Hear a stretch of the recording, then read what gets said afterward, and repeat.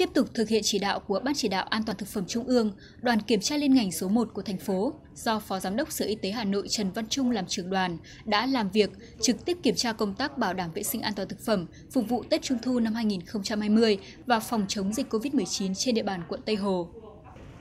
Đến thời điểm hiện tại, trên địa bàn quận Tây Hồ có 20 cơ sở sản xuất kinh doanh bánh trung thu, trong đó có 12 cơ sở sản xuất, 8 đại lý kinh doanh bánh trung thu, theo báo cáo của Ủy ban nhân dân quận Tây Hồ, trong quá trình kiểm tra, một số cơ sở có thái độ chống đối bằng việc đóng cửa, không cho đoàn kiểm tra vào khu vực kinh doanh. Ông Trần Văn Trung, Phó Giám đốc Sở Y tế Hà Nội cho biết, việc các hộ sản xuất có thái độ chống đối, không hợp tác đối với các đoàn kiểm tra cần phải có biện pháp xử lý triệt để. Nếu vẫn giữ thái độ không hợp tác, quận có thể xem xét cho dừng hoạt động. Sau khi làm việc với Ủy ban Nhân dân quận Tây Hồ, đoàn kiểm tra đã đi kiểm tra đột xuất 3 cơ sở sản xuất và kinh doanh trên địa bàn. Đa số các cơ sở đều đáp ứng được yêu cầu trong việc đảm bảo vệ sinh an toàn thực phẩm, cũng như việc phòng chống dịch COVID-19. Tại cơ sở kinh doanh Anh Hòa số 429 Âu Cơ, cơ sở này đã trang bị đầy đủ nước rửa tay cho người đến mua hàng và người bán hàng. Tuy nhiên, kho để bánh sắp xếp chưa gọn gàng, để lẫn lộn các bao bì và quần áo của người bán hàng. Vì thế, đoàn kiểm tra đề nghị cơ sở phải sắp xếp lại kho hàng. Trong cái thời gian vừa qua thì chúng tôi đi kiểm tra thì về cơ bản là các cái cơ sở kinh doanh sản xuất và kinh doanh trên địa bàn thì thực hiện chấp hành tốt các quy định của pháp luật. Chỉ có một số cái uh, uh, lưu ý nhắc nhở đấy liên quan tới cái uh, uh, vệ sinh và cái thứ hai là cái điều kiện phòng chống dịch đấy, trong cái uh, giai đoạn mà chúng ta vừa phải sản xuất kinh doanh vừa phải phòng chống dịch cơ sở kinh doanh Tuyết Lan tại địa chỉ số 167 Thụy Khuê đã xuất trình đầy đủ giấy tờ cần thiết. Tuy nhiên, trên các địa bánh bán ra lại không đặt giá niêm yết. Được nhắc nhở, cơ sở này đã thực hiện đúng yêu cầu của đoàn kiểm tra.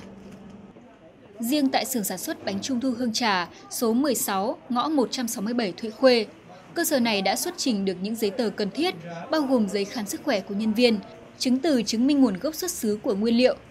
Tuy nhiên, cơ sở vật chất để sản xuất bánh trung thu của Hương Trà chưa đảm bảo quy định, sắp xếp các vật dụng chưa gọn gàng, chưa có kho để bột, đường. Đường điện bị đen, bẩn, nhân viên làm bánh còn dùng tay trần để nặn nhân bánh.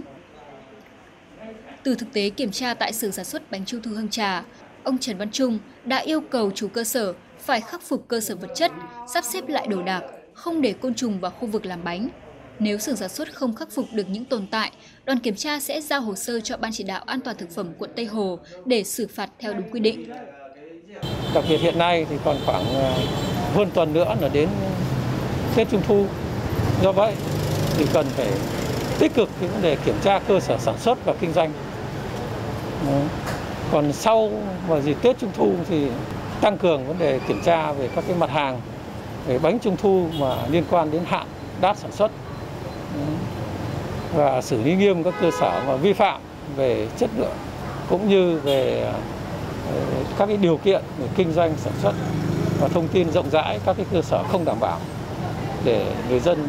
nắm bắt và biết để có cái lựa chọn trong vấn đề sản xuất ờ, nhu cầu. Ngoài ra, thời điểm Tết Trung thu đang đến gần, Phó Giám đốc Sở Y tế Hà Nội yêu cầu cần đẩy mạnh hơn nữa việc kiểm tra, nhất là đối với những cơ sở sản xuất kinh doanh bánh trung thu cũng như các cơ sở sản xuất bánh kẹo khác.